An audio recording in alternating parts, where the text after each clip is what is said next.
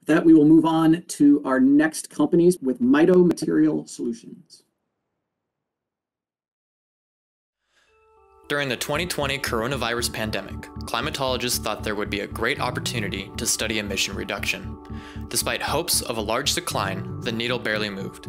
Pollution decreased by 15% or less across the US despite a majority of people staying home.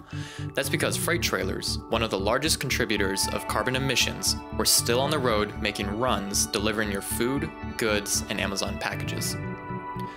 Freight trailer manufacturers have been trying to shed weight and transition to composites for decades. But the current composite technology available on the market just can't handle the payload, and nobody wants a forklift falling through a trailer floor. See, composite materials are lighter than metal, but they are not as durable. They can crack, fracture, and break because the plastic or epoxy holding them together is brittle. This is one of the main reasons composites are not the go-to choice for industries looking to innovate their materials. In order to make composites more durable, they need to add something extra. Hi, I'm Kevin Keith, co-founder and CTO of Mito Materials, where we enable the use of composite materials with cost-effective additives. Mito Materials has revolutionized the polymer additive industry by creating a scalable, robust technique to functionalize graphene-based additives at an effective price. Our flagship product is Mito E-GO, a graphene-based additive that is loaded into both thermosets and thermoplastics at a 0.1% concentration by weight that allows polymers to see up to a 135% increase in mechanical performance. E-GO reactively disperses against itself, allowing it to be used in any manufacturing process on the market. That means by utilizing manufacturers' suppliers, there's no change in current processes. So 2 pounds of E-GO can make either 3,000 carbon fiber bike frames or enough plastic parts for 5 Ford F-150s to perform like never before. Looking back at freight trailers, we know there's a need for a stronger composite in order to go the distance. That's why we've partnered with the nation's largest and most innovative freight trailer manufacturer who has been looking to transition to an all-composite trailer for the past five years. With E-GO, we were able to push a cheaper material far beyond its more expensive counterpart with no added manufacturing time. We see here in this ultrasonic check conducted on our customers' panels that the addition of E-GO does not affect panel consistency, proving that E-GO is an easy plug-in solution. With just 0.1% E-GO, we were able to increase compressive strength of this cheaper material by 20% on the low end and flexural modulus by 135%, hitting the benchmarks they needed to make their dream a reality. This will allow them to shed 40% of their trailer's weight while maintaining the same manufacturing process and load capacity, but remaining logistically and economically viable. Even if 55% of the 1.7 million freight trucks started using a composite trailer today, that would reduce fuel consumption by $12 billion, according to the North America Council for Freight Efficiency. That would reduce carbon emissions by nearly 60 million metric tons. But remember, composites are used in many different industries, from freight trucks and automotive to sporting goods and aerospace. One application that has been trying for decades to utilize composites are cryogenic storage tanks used for storing rocket fuel. Some of these manufacturers have gotten close, but with current technology and methods, it still has a long way to go.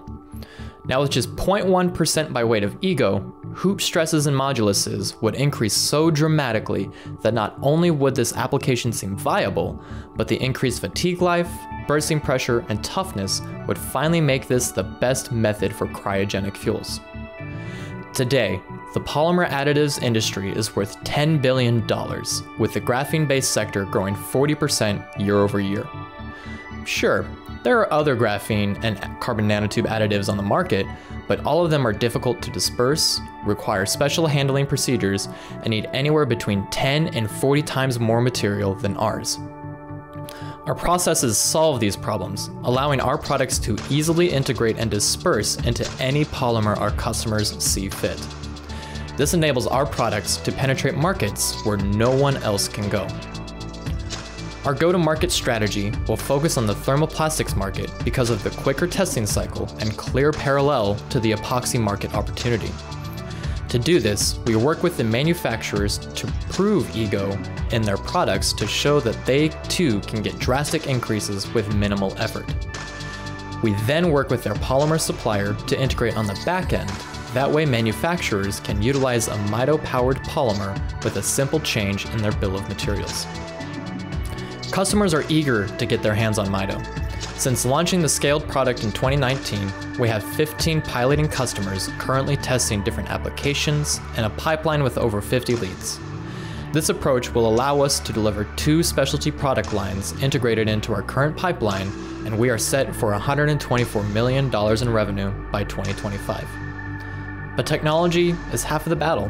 What makes a materials business successful is the team behind the product. The team that we have assembled around Mito Materials is one that has extensive experience in B2B composite and chemical sales and manufacturing.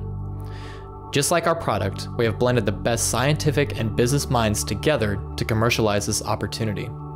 And we are backed by industry experts who work alongside us to educate an old market about new technologies. Our team is tenacious, resilient, and we know that it takes true agility and hustle to revolutionize an industry more effectively than 100 year old companies. Since starting Mito in 2016, our team and our technology's potential has been awarded several grants and prizes totaling $1.5 million, including funds from Techstars, a NASA EPSCoR grant, and the NSF via SBIR's Phase 1 and Phase 2. That traction and track record has also allowed us to raise $1.6 million from venture capital firms and angel investors like Clean Energy Trust, who believe in our mission to empower the next sustainable material evolution by enabling manufacturers to transition to composite materials using our solutions. At Mito Materials, our goal isn't to only revolutionize how the materials around us behave is to create a platform technology that scales with industry standard equipment that affects said materials without disrupting current manufacturing processes. The team we've rallied behind us shares this vision and has the passion and know how to make it possible. When we started Mito Materials, we knew that advanced materials shouldn't be accessible only to advanced industries. We knew that in order to push humanity to entirely new heights, we need versatile, disruptive technologies that unlocks this next frontier, a more sustainable frontier. That's why our products don't end with just one additive affecting one material. Mito Materials is here to empower the next materials evolution by making the products you use every day last longer and perform better than before. All right. Thank you, Mito. Do we have any questions? All right, John? Yeah, great. Thank you for the presentation. Um, so have there been any studies into how well the material um, is going to retain the, these improved properties over time? Um, you know, do you believe that the prolonged environmental exposure is going to degrade the properties that you've measured so far? Yeah, that's a great question. Uh, we are currently doing those studies right now, um, both mechanically for fatigue life, uh, especially in flex and compression. Uh, and then we're also working on some UV degradation and severe weatherability, uh, working on lower end of the spectrum. So we're looking to do, you know, negative 20 Fahrenheit all the way up to 140, 150. So those studies are ongoing right now uh, because, of course, they take a lot of time, but it's definitely something on our docket.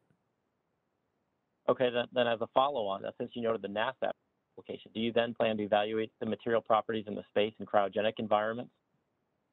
Yes, we're looking to get into that realm as well. Um, we're currently looking for contacts that we could work with to collaborate to get something into that sort of environment, as well as to look at what sort of testing parameters we need to perform. All right, great. Thank you. Yeah. Great. Uh, Paul? Hi, Kevin. Nice job. Really nice job. Two quick questions. Could you please expand on your reasoning about why this is a platform technology? Yes. So uh, we've developed a chemical process that we can take uh, other nano and micro type materials and plug it into the same process, and we get different types of additives. So, for instance, uh, E-GO is a combination of graphene oxide and an epoxide uh, silane type material. we could swap out that epoxide silane for an acrylate, methyl acrylate, isobutyl, and it's all the same process to pump out different types of additives. Uh, as a matter of fact, uh, we're working on a different type of graphene oxide additive that is fluorinated to further increase the the capacitance of composites. So making them into um, essentially supplementals to aircraft batteries. Uh, it's all in the same process. So that's why we qualify it as a platform. And the other quick then follow-up is what is your current IP status, patenting status, or IP strategy relative to this platform technology? Yeah. So right now we are licensing two patents from Oklahoma State University. Uh, it is perpetual, exclusive. It's in ours. Uh, we are filing currently this year. We're on track to file four new patents. Uh, we filed one provisional last year, which is then going to convert this year as well. Uh, we're basing that around new formulations, so that way we have fingerprints to identify if anybody is stealing IP, and we're looking to file those worldwide as well, uh, especially in other graphene producing coun- countries like uh, Norway, Spain, uh, Japan, Okay, that that way. Yeah. thank you. All right, Ramona. Good afternoon. Uh, you made Hello. mention of uh, NASA EPSCoR project back in 2014, I see, and then uh, phase one, phase two SBIR. Are you actually into the phase two or past it, or what, what is your status on that? Yes. So the SBIRs that we have are with the National Science Foundation. So the NASA EPSCoR that we got, it was actually the grant that developed the technology back in the day. So with that grant, we were able to patent it and then do market discovery over a longer period of time. And then by the point that we thought we could really take it to market and scale it up, that's when we were able to get the phase one SBIR from the NSF in 2018. And we are currently in our phase two, uh, which is due to run out in 2022. Okay, do, does the NSF have post-phase two award possibilities in SBIR? No, they have some. Uh, no, they don't. But they have a, a different program called a Phase Two B, which is essentially a two to one matching for uh, uh, additional funds for R and D. So we're filing for that this year. Yeah. Okay, we do have something like that. Have you tried the NASA SBIR? We did. Um, this year it's we we didn't get it, but we do have a customer that is still really interested in developing this fluorinated graphene oxide material. So we're going ahead and doing a JDA with them. Okay, thank you. Yeah. All right, Alex. Hi, Kevin. No, great presentation. I have a couple of questions. Uh, my first one has to do with your, your revenues. You mentioned that you've got, I think, 15 current customers. Are you able to share with us what your current revenues are? Uh, revenues, yes. Uh, so right now it's non-recurring revenue. We're selling evaluation contracts, uh, 20 grams for a thousand dollars, where they get not only product, but they get our technical expertise and use of our facilities if need be, uh, considering we have an in-house Instron, dispersing equipment, that sort of thing. Uh, so as of right now, oh geez, this year we're on track for, I want to say around fifty to seventy-five thousand dollars in non-recurring revenue. Uh, we do anticipate a full pilot conversion at the end of this year. So at that point, we should having a more recurring revenue. And uh, oh, actually, just as of last week, we are going to be implemented into a pair of custom skis. So uh, they're buying a kilogram yearly at this point. Uh, they're going to be putting us into 100 skis to start, and we anticipate that ramping up to a couple hundred by the mid middle of next year. Awesome. And then my second question has to do with environmental impact. So I, I really like what you said at the beginning of your presentation about, you know, how much carbon this will save. Uh, there's Mhm. currently, I guess, another uh, environmental crisis unfolding in the form of microplastic pollution. And my Uh-huh. question is whether your invention here is going to help or hurt in that regard. Uh, great question. So I think it depends on the frame of mind with E-GO, especially. Um, if you are helping, now mind you, the microplastic is single-use plastic that's been tossed. What we're gearing towards E-GO is more uh, engineering type plastics that are meant to last for a while. And so we're looking to prolong this life so it prevents it from going into a landfill. Now, other products we have coming down the pipeline, we're on schedule for scaling up a starch variant this year, uh, which you wouldn't have thought that cornstarch could do something like this, but it's performing better than E-GO. Uh, we're going to be doing some biodegradability studies to see how that affects uh, plastics or even if it biodegrades itself. So, studies ongoing for that one. But all in all, we're anticipating with increased fatigue life and modulus, uh, E-GO will definitely help with that. Yeah, you mentioned some some UV testing earlier. Do you have any results there yet? Not yet. Okay, thank you. Yeah. All right, Nancy. Hi, this is Nancy Mendonça. I second it. Um, great presentation. And can you talk a little bit about your thoughts towards meeting aviation aircraft certification requirements? Yeah, great question. So we haven't explored exactly what it would take uh, to meet those certifications just yet. Um, we've dabbled a little bit, asked some people around, some suppliers, and it seems, considering we are a, a specialty type product going into a material, we don't have to meet as stringent of verification, whether it's ISO or AS uh, type standards. So I'm not necessarily sure what it takes to get to that point, but we do operate internally under ISO standards, gearing ourselves towards uh, getting to that point. Now, when it comes to large scale manufacturing, we are using a contract manufacturer that makes specialty pharmaceutical type materials. So they have the facility uh, that is well outfitted for our type of material, and we're looking to fully implement into their facility uh, in the next two-ish months.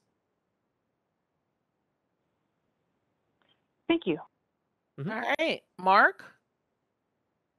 Thanks, Kevin. Appreciate it. Um, so you, as you mentioned, uh, the, the the growth of the the graphene and plastics industry is really taking off. Uh, you know, you said 40% per year, um, but it also means that there's some very well-established large players, uh, BASF, Kaneka, Sumitomo.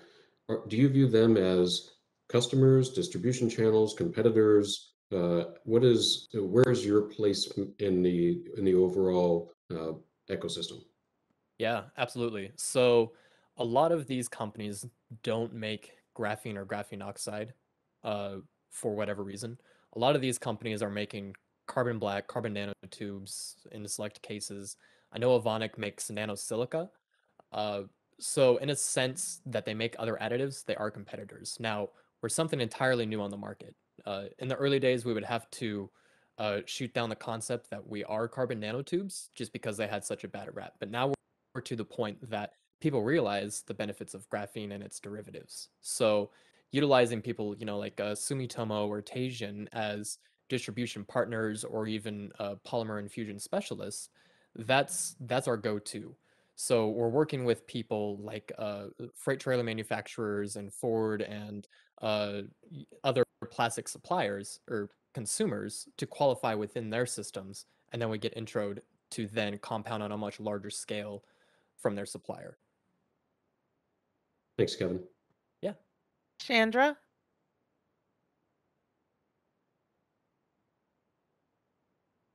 Yeah, I just wanted to clarify back on your IP. So you said that the portion of it is licensed currently, but you're looking to do a provisional. Um, would the provisional that you're filing replace the current process, or is that an addition on?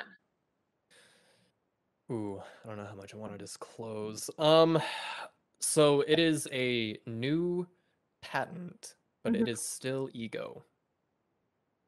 That's as much as I can say. Last year we filed the provisional, but we're building on top of that with a lot more information that we learned in the past year. So it's not altering the product that we're sending out right now. So would your company going forward still require the licensed um, IP from the university? I don't think so. Uh, tough to say right now. Um, I think, you know, over the next couple of years, we wouldn't need it, but we still want to keep it in our back pocket just so it can't be licensed away to anybody else. And we're still the only people on the market that can do a POS Mm, plus graphene or graphene oxide. Um, and to follow that, um, do you have an Mhm. exit strategy for your company? Are you looking to build it or be acquired or? Yeah? Both. So we believe that it's going to get to a certain point that uh, we're going to have to bring manufacturing in house.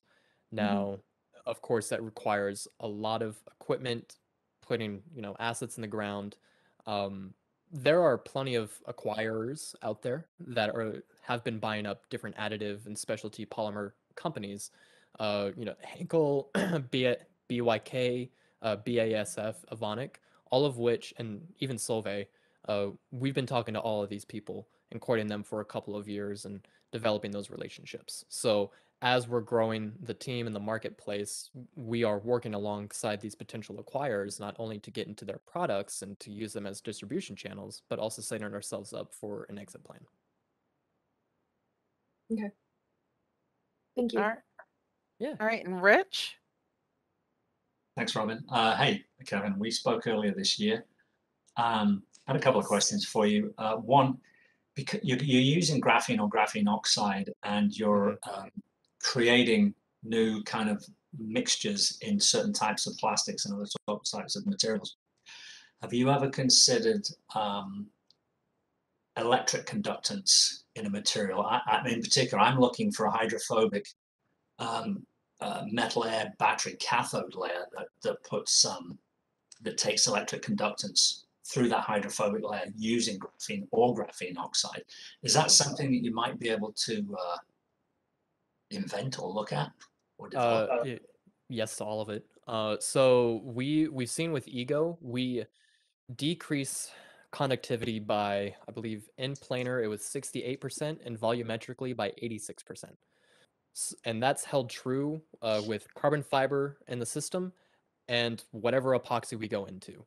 Uh, so we are developing an additive that is going to be fluorinated to further increase that band gap to make it even uh, more insulating. So we we're toying with the idea right now, doing some proof of concepts to see what we can do. But it's it's definitely something that we're looking at. We're looking to uh, really grow with the industry because we know it's a little conceptual right now. Now, when of course you look at graphene and graphene oxide, graphene is uh, highly conductive and graphene oxide is less so. But it seems whenever we put our materials in there, uh, it, it drastically insulates, which is really interesting. Okay.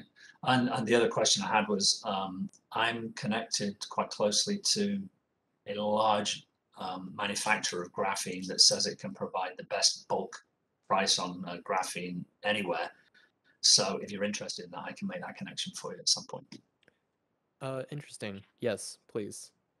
Yeah. I'll uh, I'll touch base with you after this. Sure. Okay. Thank you. If not, thank you, Mito. Appreciate it. Thank you guys.